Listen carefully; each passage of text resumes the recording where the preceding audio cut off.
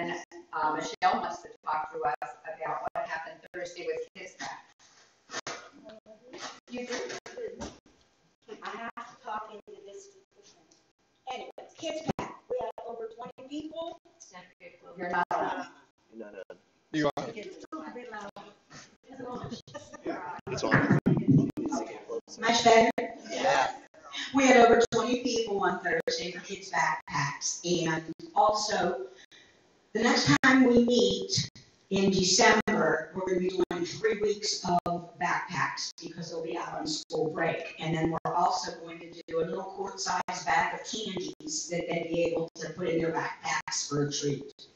So, Oakland, backpack. The other ones out there is the Santa Claus box, stockings. We need more money. So if y'all can help us out, it'd be great. Michelle, do you need candy donations? Or do you need candy donations? Yeah, yeah I.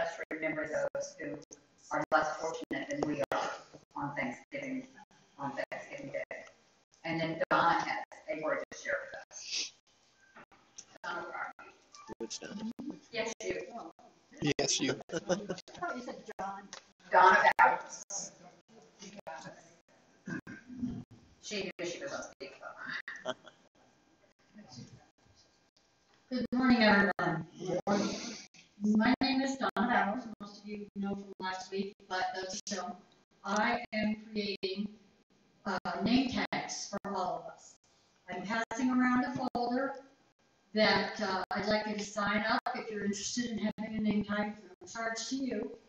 Um, I didn't say that last week. No, I, I forgot to tell you that. Um, if you'd like just your first name on the name tag or a nickname that everybody knows you by, put that in the second column, but I would like your full name in the first column. I'm, between Don Moses and I, we're hoping to have them ready by um, hopefully the second weekend in December. Um, Don has a prior commitment so we want to make sure she gets to have her fun.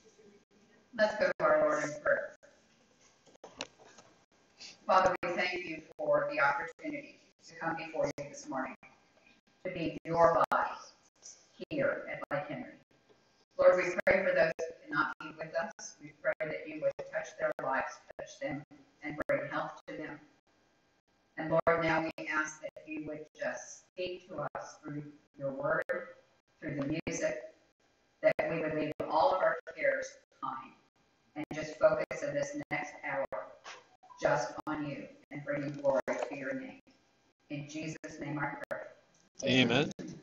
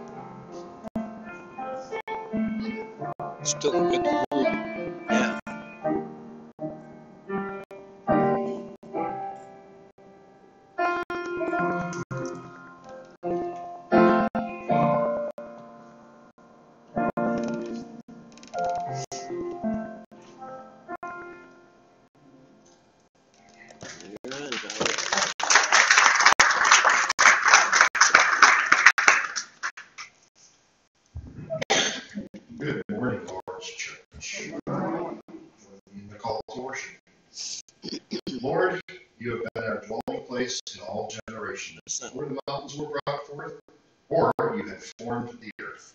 I don't know that. We don't have that.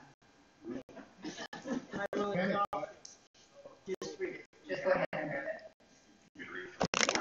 Sorry, I don't know what happened.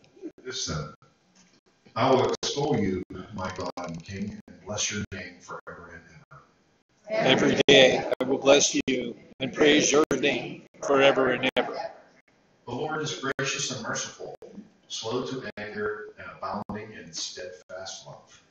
The Lord is good to all, and his mercy is over all that he has made. All your works shall give thanks to you, O Lord. And all your saints shall bless you. The Lord is near to all who call on him.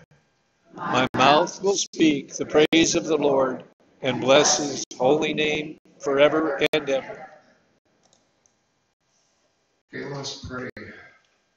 Lord God, who sees into our hearts, have mercy upon us. Lift us from the weight of our sins. Restore in us a new heart. Create in us a desire to follow you, to be obedient to the leading of your Holy Spirit. Guide us in the path of righteousness. In Jesus' name we pray. Amen.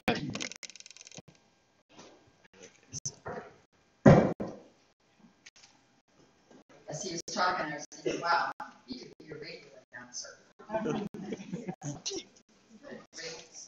Sorry about that. Double duty. listen, that was pretty good. Ready?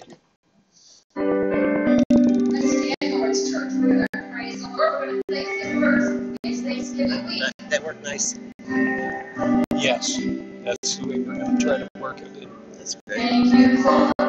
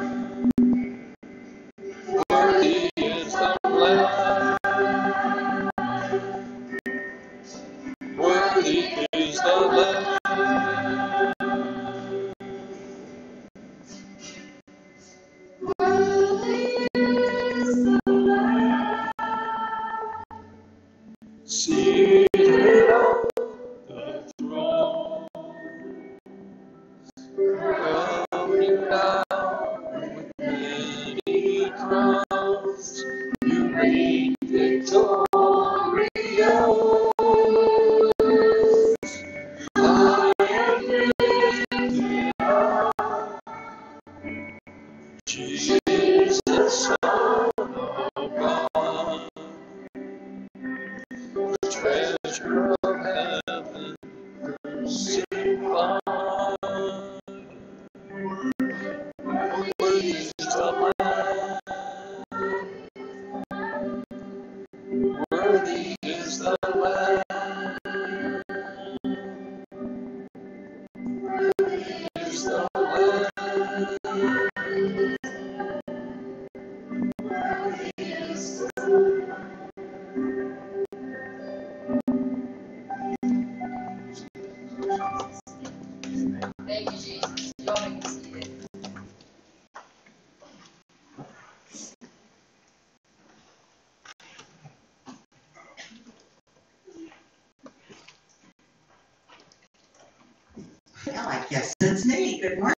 morning, Church. Good morning. I'm gonna try to get a better I coat. want to give you an update on Steve. He just loved Veterans Day last week, and all of you coming and, and talking to him.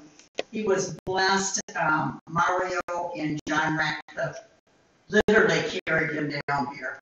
But once he got here, he was so um, pleased to be here among all you. So a little bit of an update. I'm having a break from him this coming Saturday, and he's having a break from me. So, and I think he probably needs it as much as I need it. So uh, his nurse practitioner, we have a nurse practitioner that comes once a month, and she did his vitals on Thursday morning. They were perfect. I mean, go figure. They were perfect. Viola, my caregiver that helps us during the week, she says, oh, I wish mine were that good. so he's doing pretty good. He sleeps a lot. While I'm gone, uh, if you would come by and say hi to him, I would appreciate that, and I think he would appreciate it. Um, my health is better. I got a good report from the cardiologist last week, which surprised me, but it is better. Much needed rest, and I'll come back with Vim and Vader and just go at it again. Well, Thank you. Thank you for being a wonderful, wonderful church family. So let's go to our Lord now in prayer. Almighty God, we just come to you with praise and thanksgiving. You are an awesome God. You are so good to us. You surprise us in so many ways. And Father, may we never forget that. May we praise you and worship you as we stand on your holy ground and are here in your holy sanctuary. Father, you have um, blessed us with the gift of your Son, Jesus Christ, and the gift he has given to us on the cross. We know that in our humanness, sometimes we sin unknowingly and knowingly. We don't always say and do the things you called us to say and do. And we know that in your great love and mercy, when we confess those sins to you, we are forgiven. What a wonderful blessing it is. Let's not ever forget that, folks. Let's not ever And then let's go on and strive towards right living, holy living. Father, we have many in our community and in our church family and our friends and our relatives who are facing difficult times, health issues, financial issues, conflicts within their families, uh, uncertainty uh, for the future. So we pray that you surround each and every one of these people with your divine intervention. You never said it would be easy here, but you said you would be with us. You told us you're in charge. You are in charge.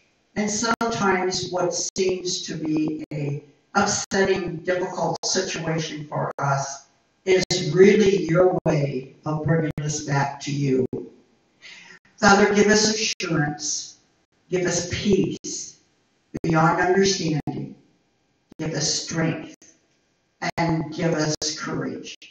Father, be with our church here, be with the uh, governing bodies in our community, in the state, in the country, and in the world.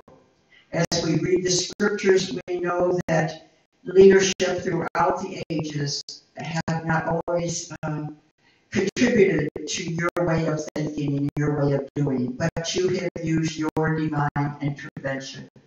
And we pray for that for all the leaders everywhere.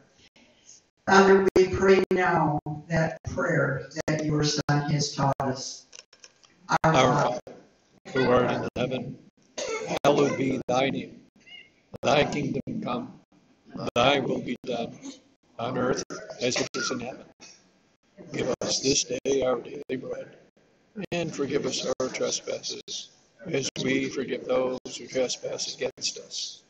Let us not fall to temptation, but deliver us from evil.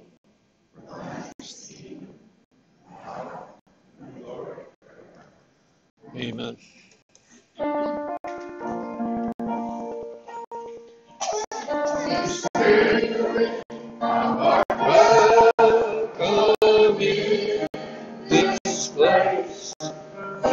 Spirit.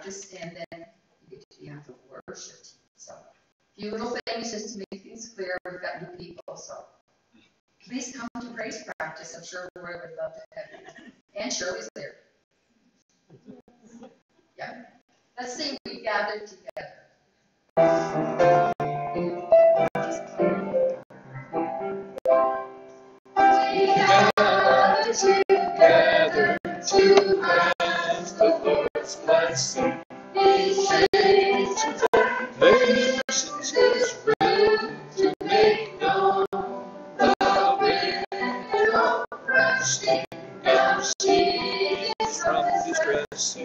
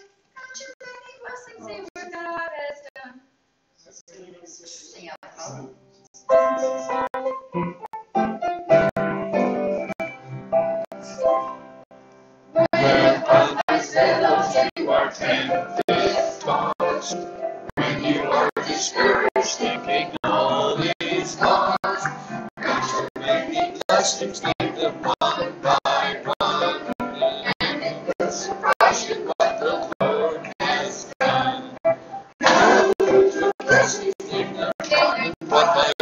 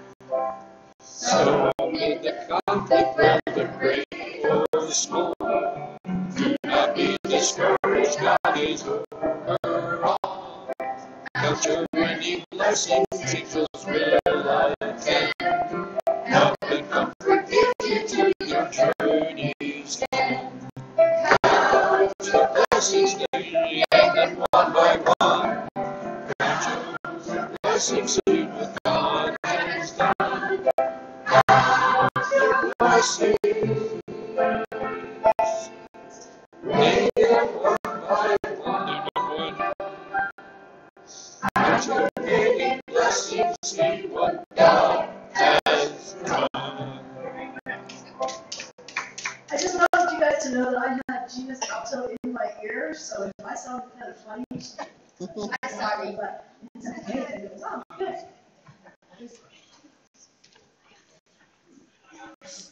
Sound guys, I have to apologize. Am I on? Yeah. Sound guys, I have to apologize to you. I did not tell you that Joe is not singing yet. My bad. Joe is gonna sing in a couple minutes. Oh. You don't know, know. Okay, I didn't. Let's pray before we start. Father, these are your words that you've given me. And I ask that you pronounce me through. Help your people to understand this difficult message and the importance of this message and what the future will bring. Speak to our hearts, speak to our minds. Open our eyes to your truth. In Jesus' name I pray. Amen. So today I'm going to begin a two-part series. As you can see by your bulletin, the title of this message is The Bad News. For those of you who always want to hear the first, the good news first, come back next week.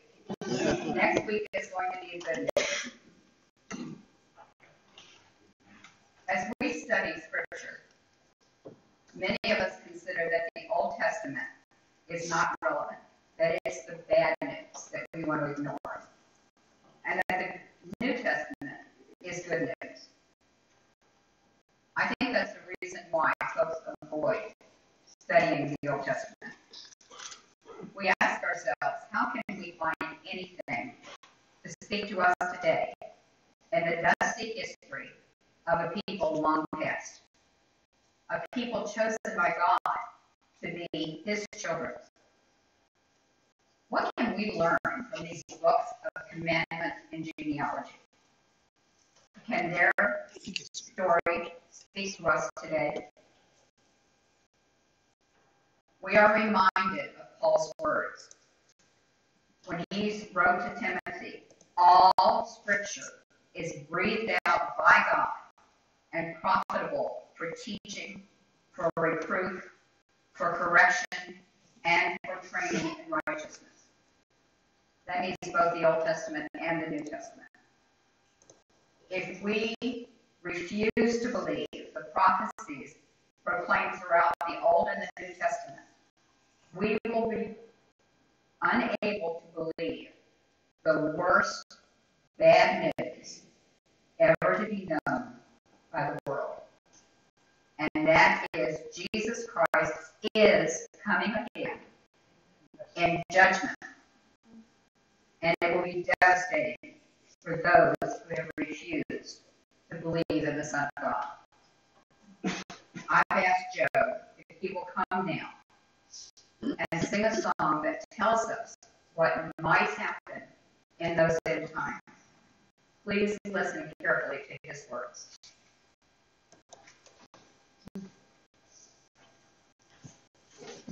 You guys signed this thing last week, right? The name tags. Yeah.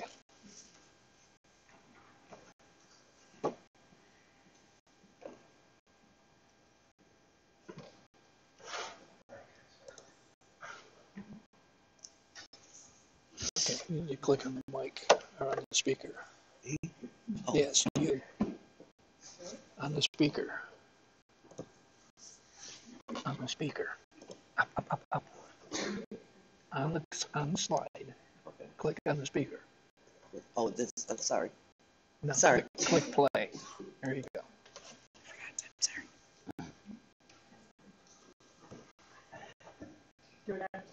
It's coming. It's, there you go. Sorry. It's new.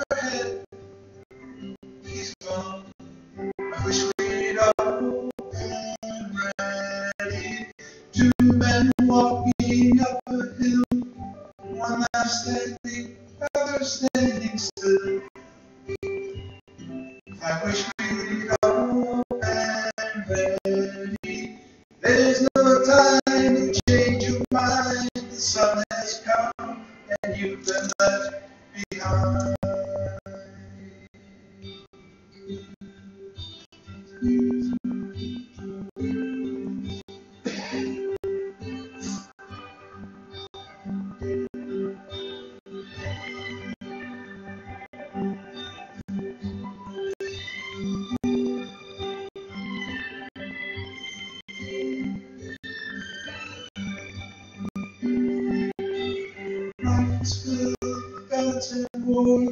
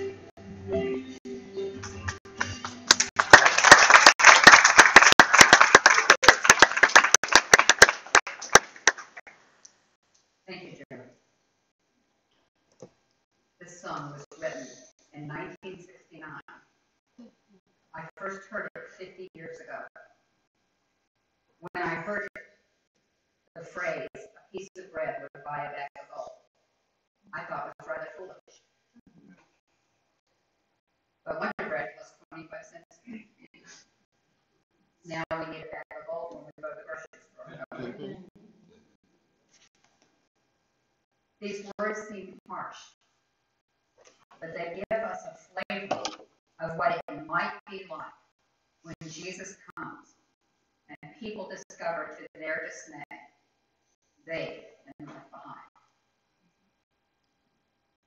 I know it's uncomfortable to focus on this subject. Most of us want to just have the book of Revelation taken out of the Bible. We don't understand those horrible examples of God's wrath in the Old Testament. We're like ostriches, burying our heads in the sand, are putting our hands over our ears when preachers give the kind of message I am compelled to share with you today. Friends, if there is no sin, there is no need for judgment. But we know sin started in the garden. Got so bad that God wiped out the earth, except for Noah and his family. You'd have thought that would have been a really good warning for Noah. But we know that Noah and his family sinned, and sin has ruled mankind since that day. Repeatedly in Scripture, we read the people of Israel again did evil in the sight of the Lord. And he, you can name almost any king, did what was evil in the sight of the Lord. We cringe when we read about God allowing terrible things to happen to his people, slavery in Egypt, wandering 40 years in the wilderness, constant attack from other nations, being carried away into captivity, starvation, abandonment. And we want to say, and these were God's people? Is this how a loving God treats his children?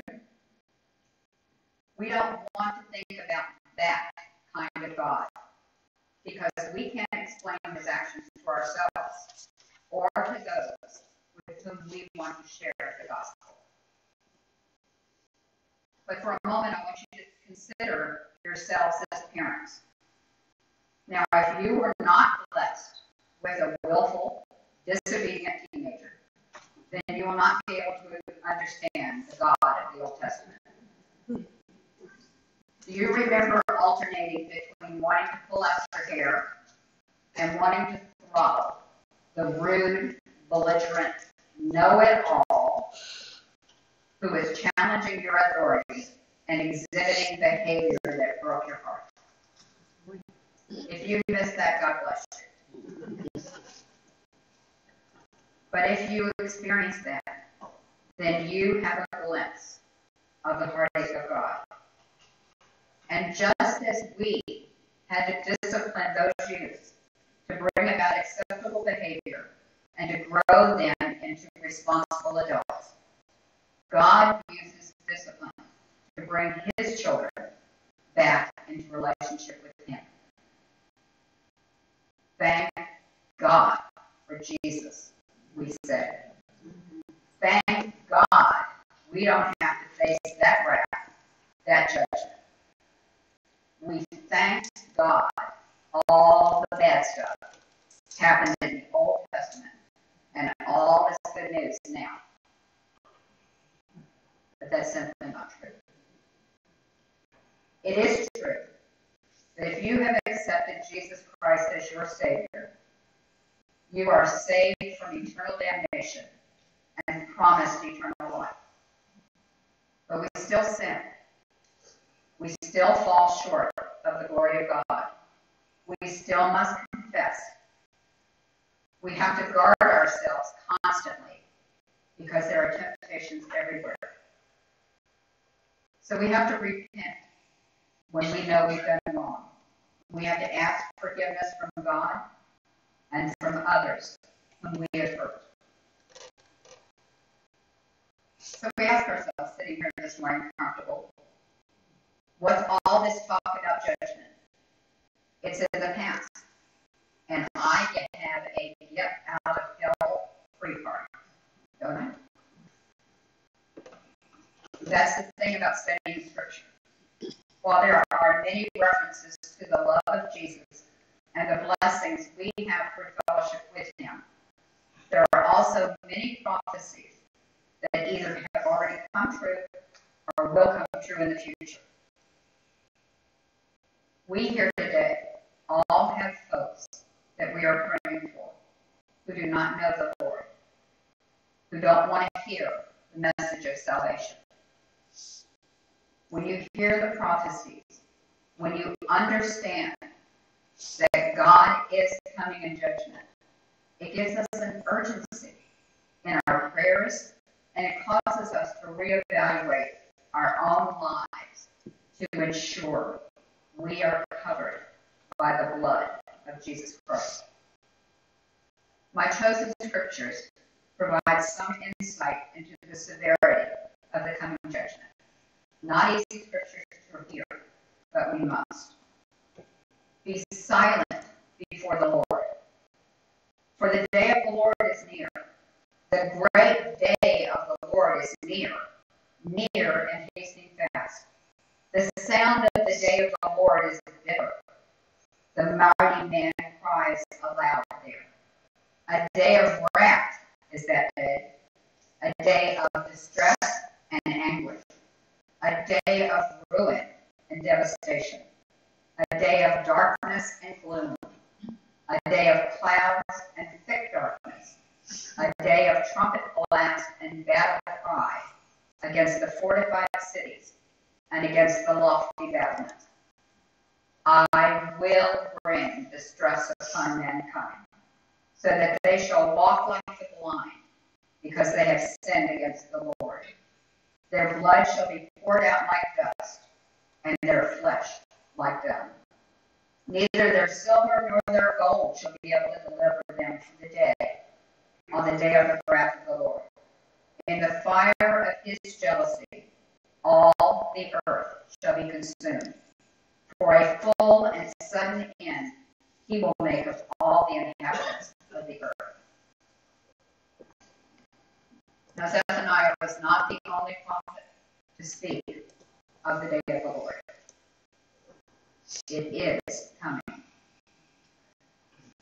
As we heard Joe sing earlier, one day the world will know the Lord has come and they've been left behind.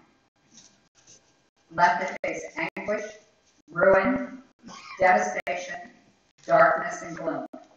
A day when no amount of prestige, power, or wealth can save from the wrath of the Lord. The day of the Lord means the future, final judgment day, when all will answer for how they've lived and the choices they've made.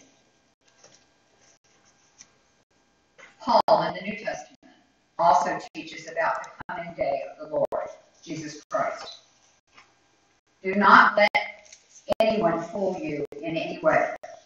That day of the Lord will come until the turning away from God happens, and the man of evil, who is on his way to hell, appears. He will be against and put himself above everything called God or anything that people worship. And that man of evil will even go into God's temple and sit there and say he is God. I told you when I was with you that all this would happen. Do you not remember? And now you know what is stopping that man of evil, so he will appear at the right time. The secret power of evil is already working in the world, but there is one who is stopping that power. And he will continue to stop it until he is taken out of the way. Then that man of evil will appear, and the Lord Jesus will kill him with the breath that comes from his mouth, and will destroy him with the glory of his coming. The man of evil will come by the power of Satan. He will have great power, and he will do many different false miracles, signs, and wonders. He will use every kind of evil trick to those who are lost. They will die because they refuse to love the truth. If they love the truth, they would be saved. For this reason, God sends them something powerful that leads them away from the truth so they will believe a lie. So all those will be judged guilty who did not believe the truth, but enjoyed doing evil. These are not the encouraging words we're used to hearing from Paul. These words tell us there is a time coming when evil will be pervasive and Satan's trickery will trap people into believing lies and liars. That's why it's so important to evaluate what you hear. Anyone speaking on this subject, what you hear leaders, evangelists, preachers saying against the truth of Scripture. Paul says these people will die because they refuse to love the truth. God will allow them to be led away from the truth, and they will be judged guilty. Remember Paul's words to Timothy about the importance of the Scripture, that it was for teaching, for reproof, for correction, and for training. Teaching and training in righteousness are two of the responsibilities of your pastors when they step up here to the pulpit. We fail you if we do not teach you prophecy because it makes up such a large portion of the Bible. Now, I've not counted, but one scholar reports that the Old Testament has 1,845, 1,845 references to the second coming of Christ. The New Testament contains 318 references to the second coming. For every prophecy of the first coming of Jesus Christ, the Bible has eight for his second coming. Think about that. There has to be a reason God provided all these references to his son's return. Now, here's the good news the return of Christ is the believer's blessed hope and a great comfort, not a cause for mental anguish or worry. I believe instead these prophecies for the Christian are a reminder of our responsibility. I know you've heard it before, but please hear it again. God has no grandchildren. Our children, our grandchildren, our loved ones cannot enter heaven on anyone else's coattails. Each of us must come to Christ by our own decision, by our acceptance of and belief in the sacrifice of Jesus Christ on the cross.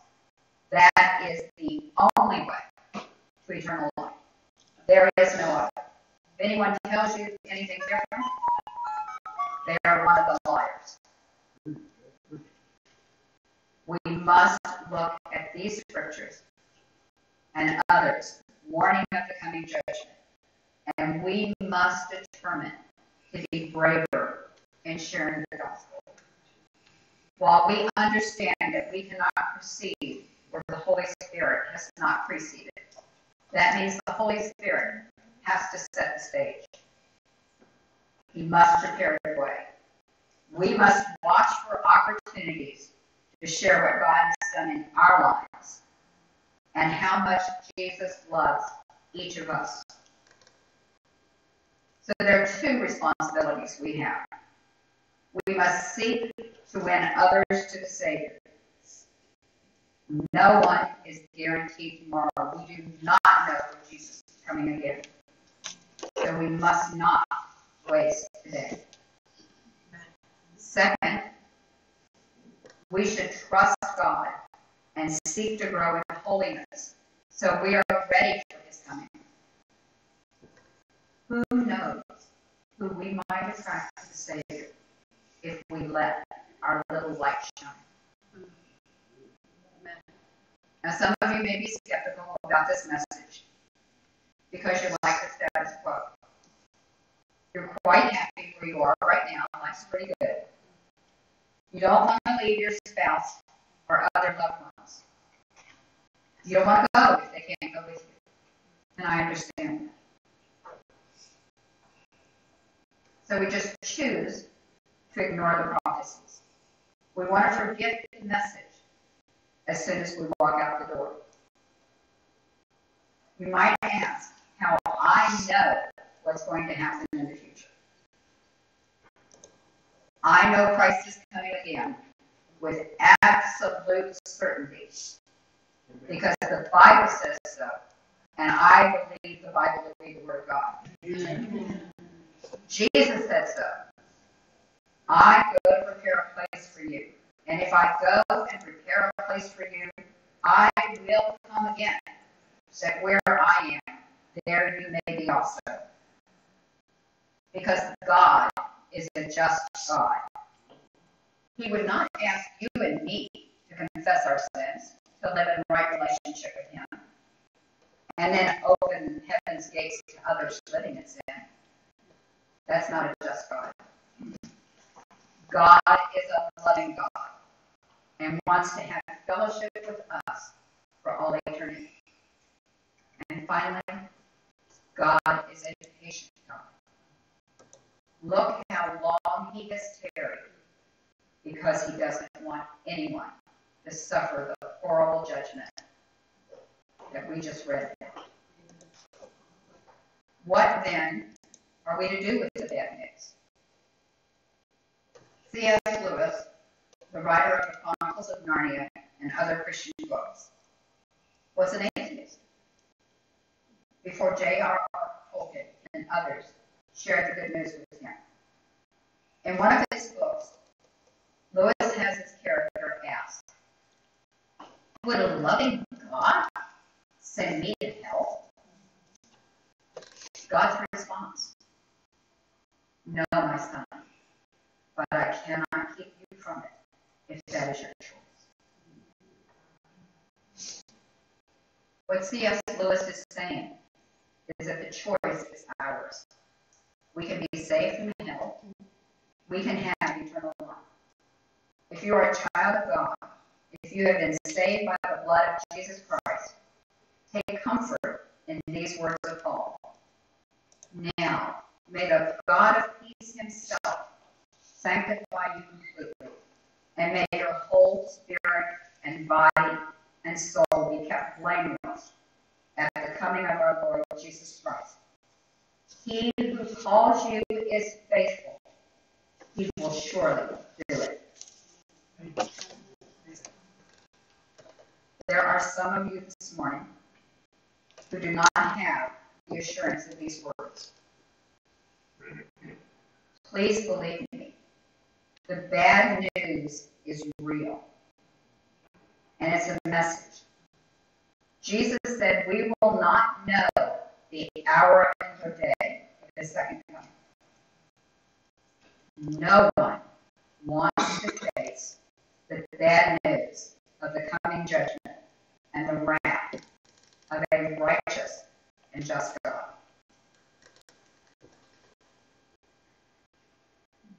Please bow your heads. Close your eyes. If you're sitting here this morning and you feel the Holy Spirit speaking to you, if you are worried you, you might be one of those left behind, please raise your hand. No one is listening, no one is watching you, and God already knows. God already knows. Please do not leave this place this morning without talking to a pastor. Don't let another day, another moment go by without asking Jesus to come into your life, to save you, and give you the assurance of eternal life. Joe's now going to come and sing a song that was written by someone just like you and me, a wretch saved by God's amazing grace. Amen. That was a something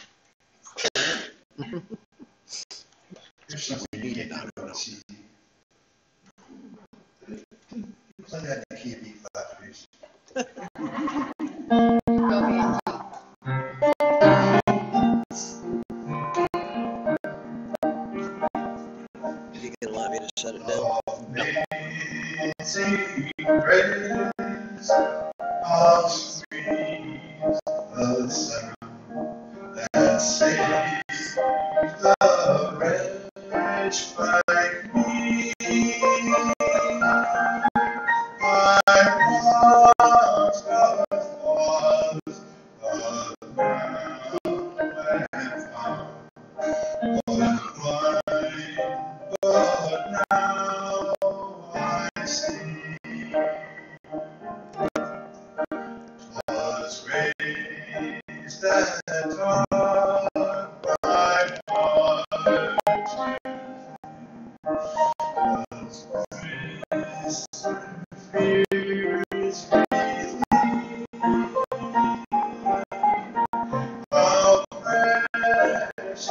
precious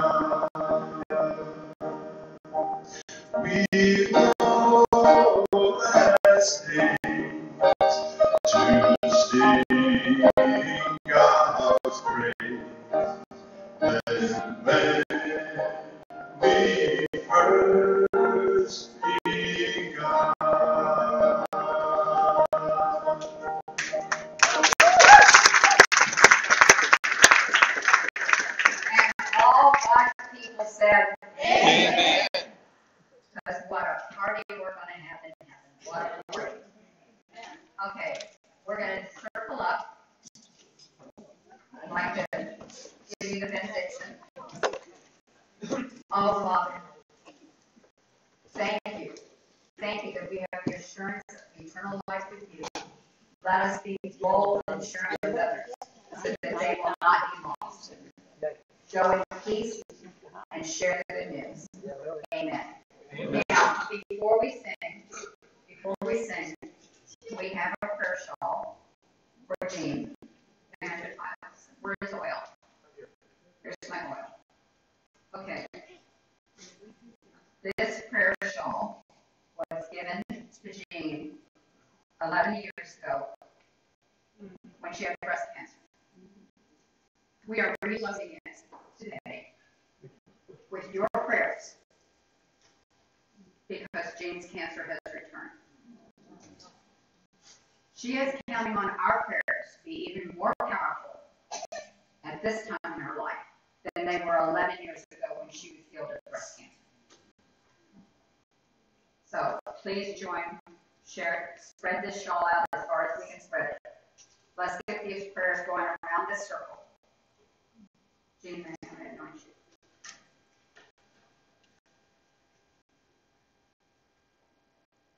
In the name of the Father, Son, and the Holy Spirit.